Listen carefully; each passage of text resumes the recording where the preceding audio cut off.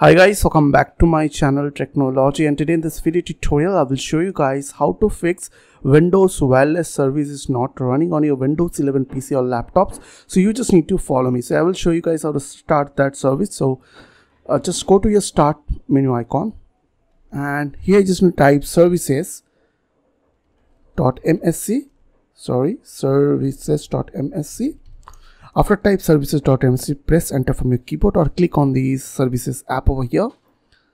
After that, from this window, you just need to find WLAN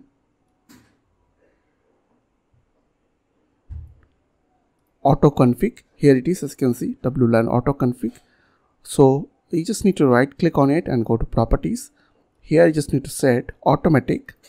After that, click on apply, then OK, then right click and click on start after that it will fix your problem. So i hope this tutorial will really help for you. And please don't forget to click on the subscribe button like button and share button.